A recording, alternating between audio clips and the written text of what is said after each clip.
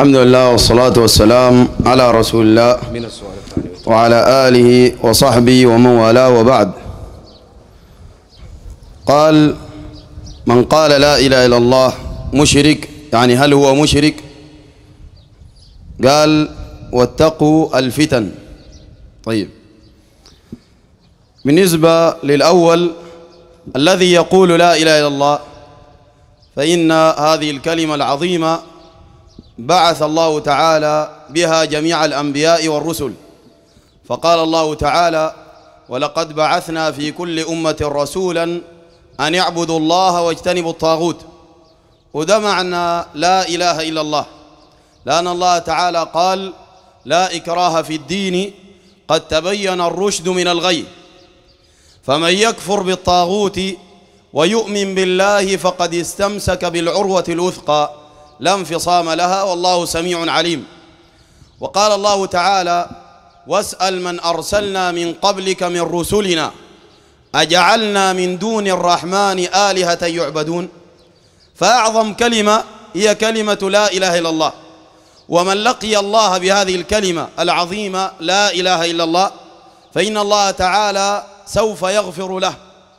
كما قال النبي عليه الصلاة والسلام كما في مسن في سنن الترمذي وفي صحيح الجامع عن أنس رضي الله عنه عن النبي صلى الله عليه وسلم أنه قال يقول الله تعالى يا ابن آدم إنك ما دعوتني ورجوتني غفرت لك على ما كان منك ولا أبالي. يعني زول وقع في ذنب ودعا الله تعالى بالمغفرة. كما جاء في القرآن في قصة آدم عليه السلام وحواء أن الله تعالى قال عنهما في سورة الأعراف قالا ربنا ظلمنا أنفسنا وإن لم تغفر لنا وترحمنا لنكونن من الخاسرين. قال الله تعالى في سورة البقرة فتلقى آدم من ربه كلمات فتاب عليه إنه هو التواب الرحيم. يعني أنت وقعت لك في ذنب؟ وقلت يا الله تغفر لي يا غفور أغفر لي. ودعوت الله تعالى بالرحمة. ورجوت رحمة الله ورجوت غفران الله تعالى. الله بيغفر لك. بعد ذاك قال يا ابن آدم لو بلغت ذنوبك عنان السماء. قال النووي رحمه الله قال بعض العلماء أو قال العلماء عنان السماء يعني السحاب. يعني لو زول ذنوب وصلت السحاب. قال ثم استغفرتني غفرت لك على ما كان منك ولا أبالي. بعد ذاك آخر شيء وده مناسبة الكلام. قال يا ابن آدم إنك لو أتيتني بقراب الأرض خطايا ثم لقيتني لا تشرك بي شيئا لأتيتك بقرابها مغفرة. عشان كذا الناس بتتكلم في التوحيد. لأنه ده بنظف الزول. قال الله تعالى إنا أرسلنا نوحا إلى قومه أن أنذر قومك من قبل أن يأتيهم عذاب أليم. قال يا قوم إني لكم نذير مبين. أن اعبدوا الله واتقوه وأطيعون. الفائدة شنو؟ من الفوائد. قال يغفر لكم من ذنوبكم. ويؤخركم إلى أجل مسمى. إن أجل الله إذا جاء لا يؤخر لو كنتم تعلمون. فأنت لمن توحد الله سبحانه وتعالى وتصلي وتذكر الله تعالى وترجع إلى الله وتتوب. إليه سبحانه وتعالى سوف يغفر لك فدي لا إله إلا الله. وبتدخل بها الإسلام. كده النبي عليه الصلاة والسلام لما أنزل الله عليه قوله يا أيها المدثر قم فأنذر وربك فكبر وثيابك فطهر والرجز فاهجر. الرجز يعني الأصنام. فاهجر. طلع الصفا طلع الجبل قال يا صباحاه فاجتمع عليه الناس.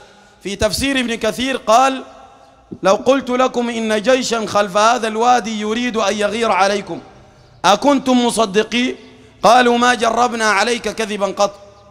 الكلام في تفسير ابن كثير قال شنو؟ قال فقال لهم إني نذير لكم بين يدي عذاب أليم. قولوا لا إله إلا الله تفلحوا. الكلام ذا ابن كثير جابه في تفسيره لسورة المسد تبت يدا أبي لاب وتب. لما قال الكلمة دي لا إله إلا الله تفلحوا. قولوا لا إله إلا الله تفلحوا. هنا عرفوا معناه. عرفوا إنه لا إله إلا الله. يعني الناس ما تعبد إلا الله سبحانه وتعالى. وأنه لا يستحق العبادة إلا الله جل في علاه. طوال أنكروا الكلام. أبو لهب قال له تبا لك سائر اليوم. ألهذا جمعتنا؟ هسي تلامينا عشان نقول لا إله إلا الله. لأنهم عارفين مش مجرد القول. معناه تترك عبادة من سوى الله وما سوى الله.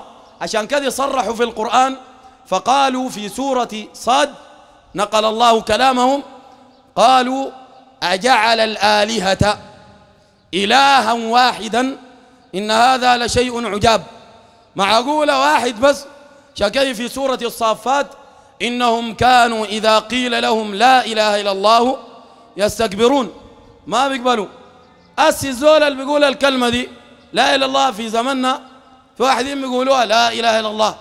وفعلا عقيدته في الله. لا في حجاب لا في شيخ لا في قبة لا في غيره. وده كويس ودي بتنفعه. لأنه لا إله إلا الله لما يخطها في الميزان اسم الله ليس هناك شيء أثقل منه. فهمت المسألة؟ من تأخذ لا إله إلا الله في كفة تاني أي شيء جاي ما أثقل من لا إله إلا الله. وما معناه تعمل المعاصي؟ لا تخاف. تخاف من الذنوب. قل إني أخاف إن عصيت ربي عذاب يوم عظيم. عشان ما تقول معناه اسمع حفلة واحضر الفيلم وبعدين نحن موحدين. تشرب بنجو تقول نحن موحدين. لا تعمل حسابك تبعد من البنجو من غيره من المعاصي. اللي بيقول لا إله إلا الله وفاهمة ويعمل بمقتضاها ده بتنفعه. لكن تقول لا إله إلا الله زي ما في السؤال ده. ما هم بيعترضوا يقول لك معقولة زول يقول لا إله إلا الله لا إله إلا الله وتقولوا مشرك. ما هو بقول لا إله إلا الله وفي الشدائد ما بنادي الله. عتر يا الحسن من المحن. ده, ده نقض لا إله إلا الله. هسي تاني توضيت 16 مرة. ونمت بس خمسة دقائق وصحيت. هل بيقولوا النومة دي بوضوء وفاضل 15 وضوء ولا كلهن وقعا؟ مش كلهن وقعا؟ إنت تقول لا إله إلا الله وتصلي وتعبد. بعد شوية اعترت ناديت غير الله. الله قال للنبي عليه الصلاة والسلام ولقد أوحي إليك وإلى الذين من قبلك لئن أشركت ليحبطن شنو؟ عملك. في عمله إنه قال لا إله إلا الله ولا ما قال؟ قال شكي رب العزة والجلال قال ومن الناس من يقول آمنا بالله وباليوم الآخر وما هم بمؤمنين. بيقولوا لكن ما في النهاية بخالفوها. فأنت ما تقول لا إله إلا الله وتجي تعتر تنادي غير الله وتسأل غير الله سبحانه وتعالى. أنت بتقع في الشرك. يا وتبقى زي البخور ده. عند بخرنا بخورك ده ظريف ما مشكلة. لكن الله يستر ما يكون عندك بخور جوا ولخبطة تانية. الناس دي بيقولوا لا إله إلا الله لكن واحد يقول لك الناب خطب في البلاد نزيل قل يا ولي الله إسماعيل. ده فيهم لا إله إلا الله؟ زي زول لله المثل الأعلى. اللي بيقول لك أنت زول ظريف وزول تمام وزول كذي لكن اسمع أنت والله زول خاين وأنت كعب. ولا يشكرك يقول لك اسمع أنت زول تمام وزول كويس وبيورا في بيتك يلخبط في البيت. فهمت كلامي؟ يلخبط في البيت. يعني قدامك يقول لك كلام سمع ورا بيغادي يضعن فيك ولا يضرك في بيتك. فهمت كلامي؟ إلى آخره. زول يقول لا إله إلا الله لله المثل الأعلى. تقول لي الله لا إله إلا أنت. تعتر تنادي غيره أنت خالفت الكلمة دي وأبطلت الكلمة دي. عشان كذا الله حذر المؤمنين وحذر الأنبياء. وحذر الرسل وحذر جميع البشر فقال ما كان لبشر أن يؤتيه الله الكتاب والحكم والنبوة ثم يقول للناس كونوا عبادا لي من دون الله ولكن كونوا ربانيين بما كنتم تعلمون الكتاب وبما كنتم تدرسون ولا يأمركم أن تتخذوا الملائكة والنبيين أربابا أيأمركم بالكفر بعد إذ أنتم مسلمون. الكلام ده أنا أختم لك السؤال ده بآية بس عشان تريحك من الموضوع ده. إنه أنت ممكن تهتدي وتقول كلمة التوحيد تنادي غير الله رجعت طوالي تخش النار بعدين. قال الله تعالى في سورة الأنعام قل أسمع الآية دي كويس قل أندعو من دون الله ما لا ينفعنا. الصوفي بيقول لا بينفع. تقول لي يا أخي ما بينفع الله قال ما بينفع يقول لك لا بينفع شيخنا ده بينفع. والحجاب ده بينفع يا أخي الله قال قل أندعو من دون الله ما لا ينفعنا ولا يضرنا ونرد على أعقابنا. ركز كويس. ونرد على أعقابنا بعد إذ هدانا الله. بعد الزول اهتدى وقال لا إله إلا الله. تاني ينادي غير الله. ويرجع ويرتد عن الدين. الآية دي واضحة جدا. فأنت تقول لا إله إلا الله وتنادي غير الله ولا تمشي لشيخ رسول قال لك ما عندك شيء. صلى الله عليه وسلم. تمشي لشيخ دجال آه، عامل فيها بيعلم الغيب؟ قال النبي عليه الصلاة والسلام من أتى كاهنا أو عرافا فسأله فصدقه بما يقول فقد كفر بما أنزل على محمد. فهمت المسألة؟ تمشي لي دجال تقول لها ها ست الودع ارمي الودع. كذا يا ست الودع شوفي لي بكرة بيحصل شنو؟ ما عندك شيء قدام. لأنه الله قال إن الله عنده علم الساعة. وينزل الغيث ويعلم ما في الأرحام وما تدري نفس ماذا تكسب غدا. ما كلام واضح؟ وما تدري نفس ماذا تكسب غدا. ثاني تمشي تقول له بكرة بيحصل شنو؟ وما تدري نفس بأي أرض تموت. إن الله عليم خبير. طيب. مسألة الفتن. يعني ما بتاعين فتن. بتاعين الفتن ناس الشرك. لأن الله قال والفتنة أشد من القتل. وقال تعالى والفتنة أكبر من القتل. فهمت؟ الفتنة الشرك كما قال ابن باز رحمه الله تعالى. زول فاتنا الناس الناس جد بيصلوا في الصلاة بيقولوا إياك نعبد وإياك نستعين. يعني ما بنعبد إلا أنت يا الله وما بنستعين إلا بك. يجي بجنبه في المسجد فارش له شوال فارش له حجبات. تعالوا حجاب سكين حجاب كذي حجاب غيره حجاب عقرب. ده ما فتن الناس في دينا خلى الناس بدل عقيدتها تلقى عمك مارق من المسجد عمره تسعين سنة. الفترة بتاعت تسعين سنة ما لبس حجاب.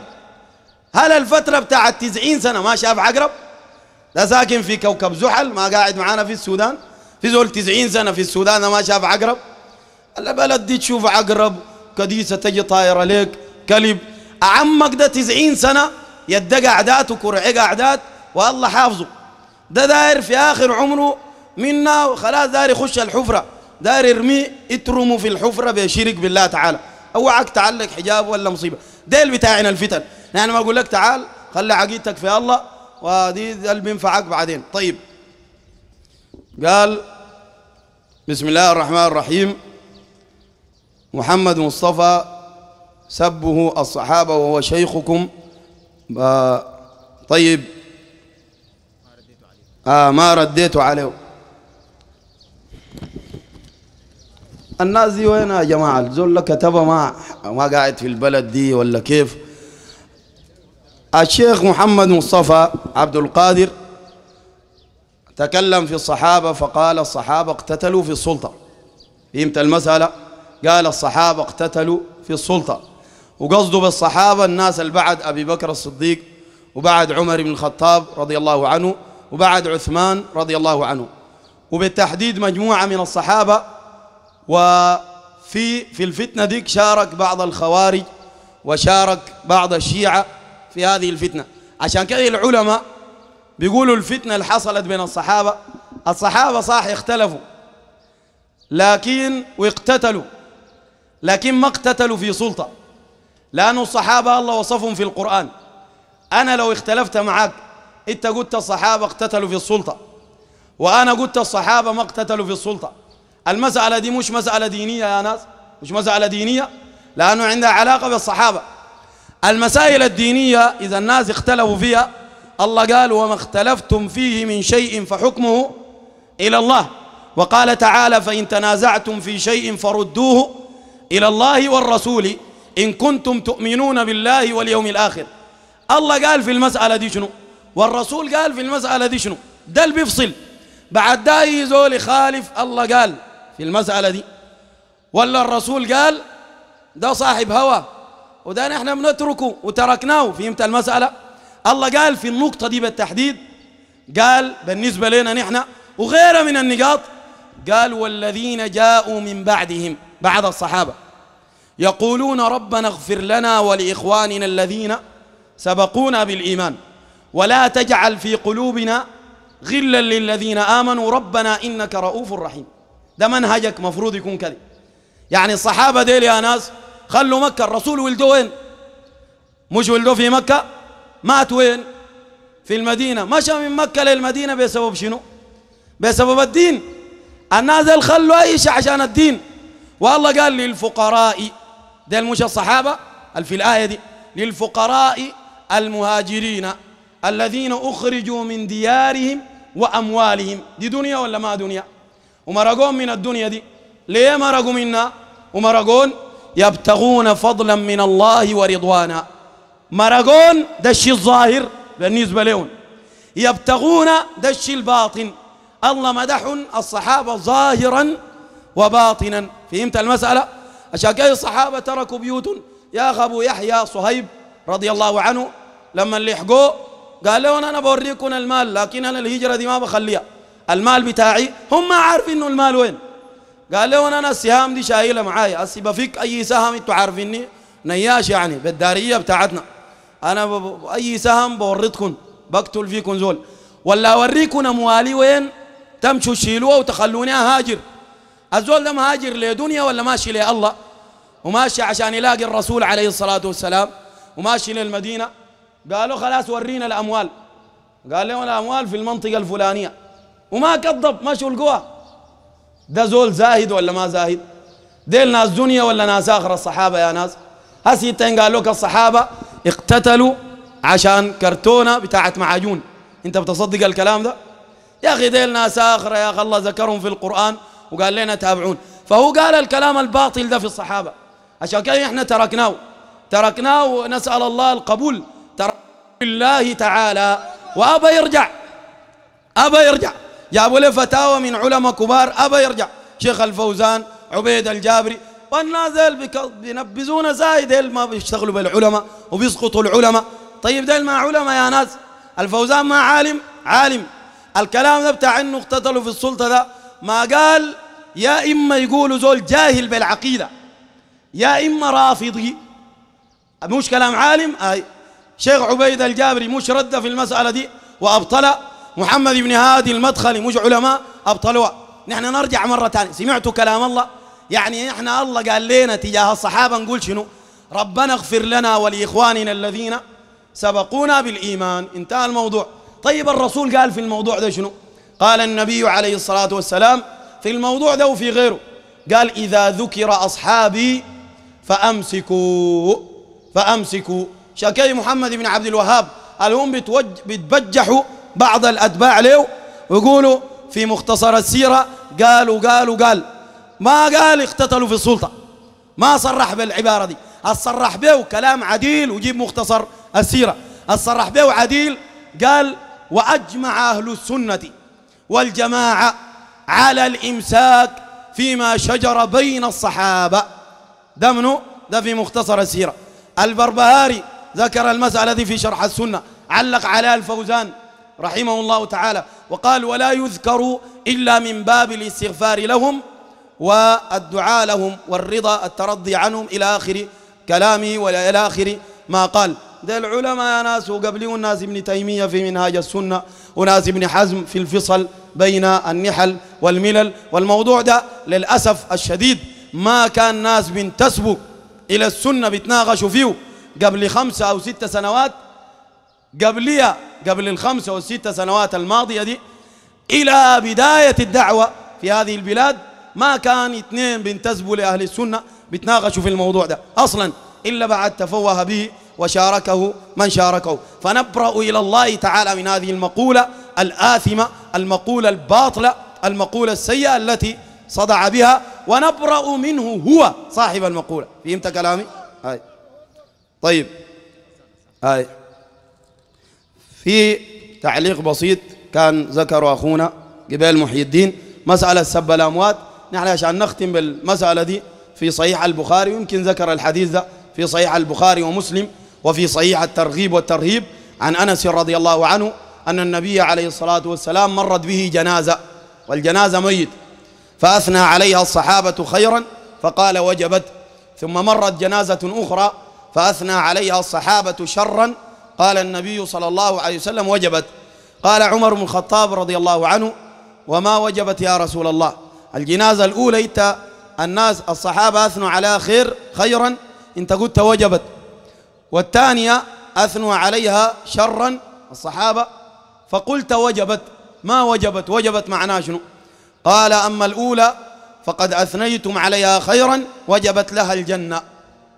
وأما الثانية فقد أثنيتم عليها شرا وجبت لها النار أنتم شهداء الله في الأرض. استدل به النووي في كتاب الأذكار على جواز غيبة آه، المنحرف وإن كان قد مات وإن كان من المسلمين. في كتاب الأذكار هذا وصلى الله وسلم على نبينا محمد. بارك الله فيكم. السلام عليكم ورحمة الله. من دعا إلى هدى كان له من الأجر مثل أجور من تبعه.